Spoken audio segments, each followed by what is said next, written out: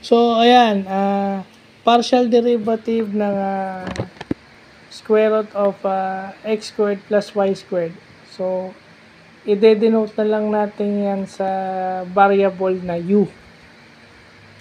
Itong partial derivative nito is nakuha dun sa derivative ng square root. Di ba may formula tayo dati sa pagkuha ng derivative ng square root. Yung i-divide natin sa 2 over the square root of x.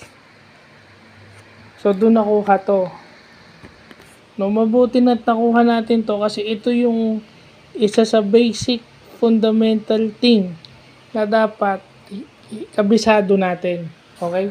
Pag nakita natin na yun na, yun na yung given, automatic kabisado na natin to. Ito yung mga bagay na hindi na natin kailangan isolve.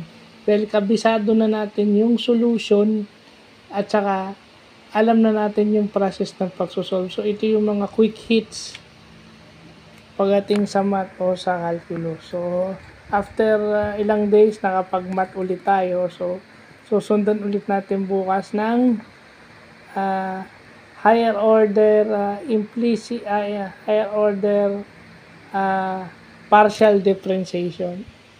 So, yun lang po.